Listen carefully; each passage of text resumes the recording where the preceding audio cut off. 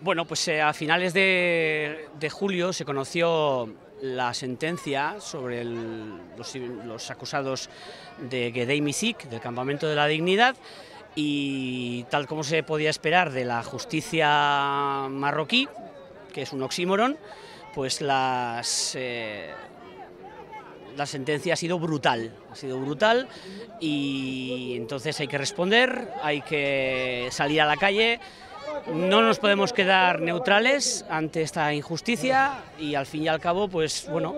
aquí tenemos a los Borbones, allá tienen a Mohamed VI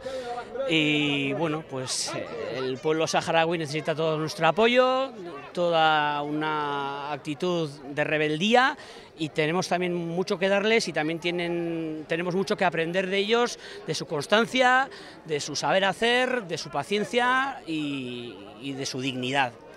Sí, hemos eh, concentrado el día 28 y hoy denunciamos eh, los juicios que se han pasado en la, mitad del mes pasado, que se han pasado a los presos políticos eh, de Gdimizik, el famoso campamento de, de, la IUN,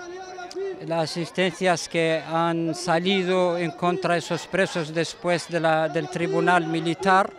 vemos que no se han cambiado nada, que se ha alargado el tiempo solamente, las mismas tendencias de lo que es eh, el, tribunal militar sigue lo mismo o más peor,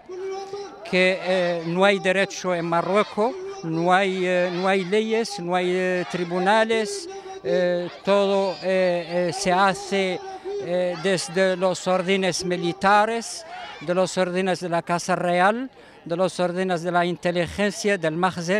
Magzen, no, hay, no hay juzgados libres no hay juzgados que eh, persiguen unas líneas de derechos sobre los derechos humanos. Eh, eh, sabemos que es un juicio que no tiene ningún derecho